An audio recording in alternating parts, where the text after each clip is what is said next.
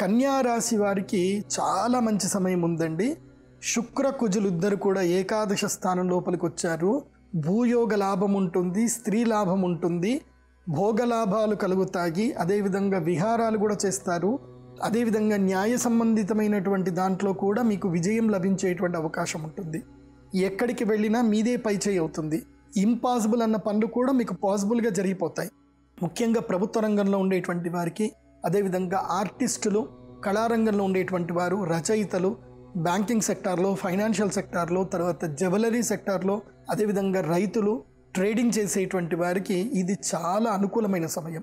ముఖ్యంగా వివాహ సంబంధ బాంధవ్యాల గురించి వేచి చూసేటువంటి యువతి యువకులు ఇప్పుడు గనక ఎవరితోటైనా కాస్త ప్రేమగా మాట్లాడినా సరే మీకు తొందరగా వాళ్ళు మీకు వశమైపోతారు. వివాహం సంబంధాలు కుదిరితే అవకాశం ఉంటుంది కాబట్టి ఎలాంటి చింతన చేయకుండా కన్యారాశి వారు ఇంట్లో ఉండకుండా కష్టపడి బయటకు వెళ్ళండి